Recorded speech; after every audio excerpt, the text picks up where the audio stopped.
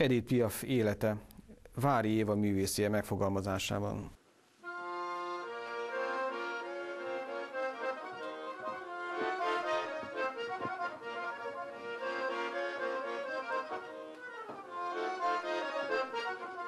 A színház műsorra tűzte a PF életéről szóló műzikált. Ez egy francia darab volt, amit játszottunk, 95-ben volt a bemutatója, és úgy hiszem 5 vagy 6 évig játszottuk, és utána lejárt a jogdíja, és nekem volt ez az estem, amit még Pécsán is játszottam, és helyette lett aztán ez az est, ami csak egy személyes, tehát egyedül én mondom el az életét, és ugyanúgy megmaradt a héttagú zenekar, ami a rendes előadást is vezette.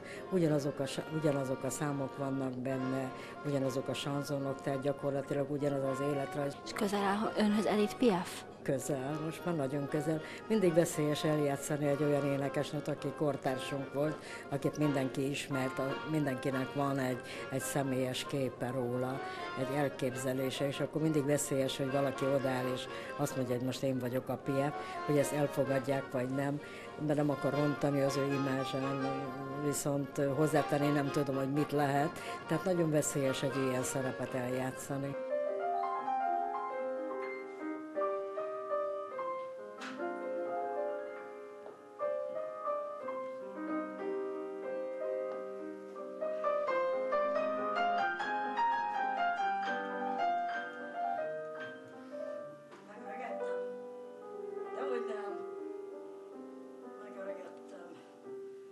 Többször jut eszembe a múlt.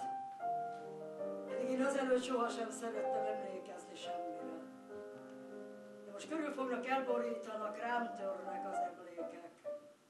Arcokat látok sok ismerőst és idegen járókelőket az utcán, akik a hangomat hallották, rajongtak értem, és követeltek maguknak. A kedvükért, és csak nekik énekeltem. Sokszor az erőm megfeszítésében is. Én rövidesen meghalok. Senki nem tudja, hogy ki voltam valójában. Hát beszélni akarok magamról, amíg tudok, vállalva a botrányt is, vállalva a szánalmat is. Nehéz, gyötrelmes életem volt, és ha újra kezdeném, én, én, én ugyanígy csinálnék mindent. Önpusztító erővel és szenvedőn, szeretve és elhagyatva, és sokszor előről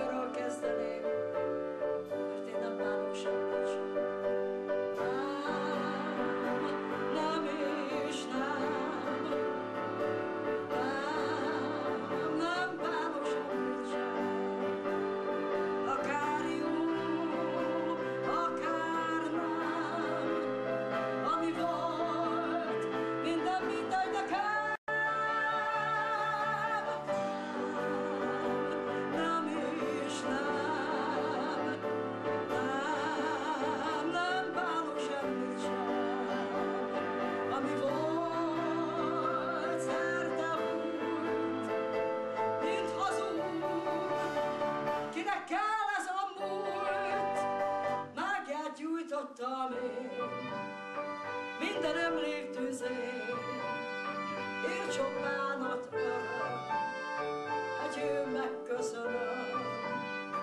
Régi szerelmekért, sírni ugyan mit ér, mindent, mindent, ha kell, előről kezdek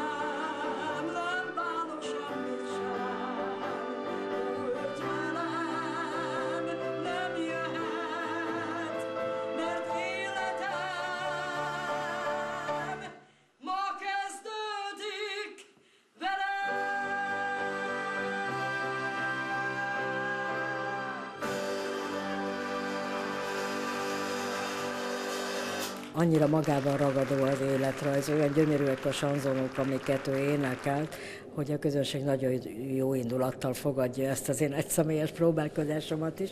Ez bizonyítja, hogy most már száz, százon fölül van ez az egyszemélyes előadás, és 150 felé megyünk már vele.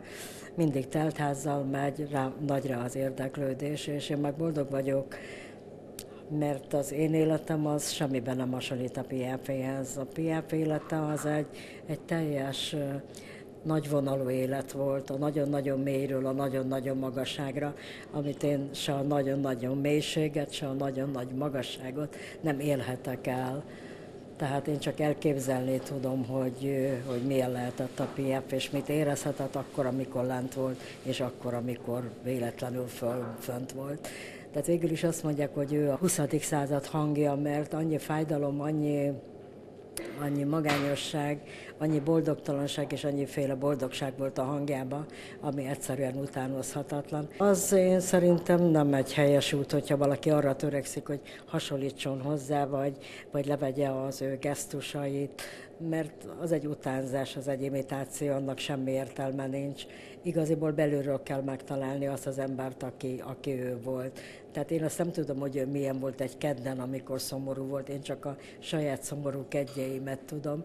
És akkor az ember azokat a helyzeteket, amiket az élete hozott, azt én megpróbálom átélni, vagy magamon keresztül megmutatni, hogy, hogy milyen lehetett ez az ember. De hát ez nem azt jelenti, hogy ilyen volt. Ilyen, olyan, amilyen ő volt, az csak egy volt, az csak ő volt. És mindenféle külsőséget valóban le lehet róla venni. Lehet úgy énekelni, ahogy ő amikor én megkaptam ezt a szerepet, akkor soha többet nem hallgattam meg, mert nem akartam leutánozni. Szóval nem utánozhatom. Ő tudja, hogy miért énekelte ugye azokat a számokat. Én csak azt tudom, amilyen én vagyok. És hogyha ez jót, jót gondolok arról, hogy ő hogyan élt, vagy ő milyen volt, akkor ennek ugyanolyan hatása van. Löplébe akartam mutatni új felfedezetjét az előkelő Párizsnak, a műsor régóta ment, nem lehetett, hogy én a sztárok után következzem. Jött löplé, gyerünk, mert te következel. Mondom, és? És, és, és nem baj, hogy hiányzik egy újja? Azt mondta, nem. Tedd a válladra Ivon kendőjét. Ne hadonász, ne emelgesd a karodat. Mert meglátod, hogy minden rendben lesz. És ő maga jelented be. Hogy néhány napja a külvárosban jártam, utcasarkon egy fájdalmas arcú kislány énekelt, a hangja szíven ütött.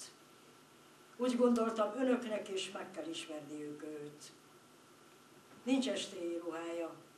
Úgy áll önök előtt, ahogy megismertem, festetlenül, harisnya nélkül, olcsó ruhában. Íme a kis piaf. Az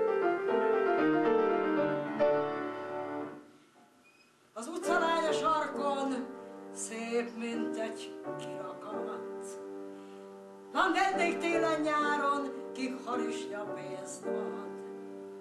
Ha a munkájának vége a saját útján jár, hol álmodozhat végre egy külvárosi bár. A fiúja nagy művész, egy vidám kis regény, ki harmonikán művész, és csak néki Ő csak hallgatja, és soha táncba nem kezd, csak rá figyel, nem néz senki után. Szeme szerelmesen,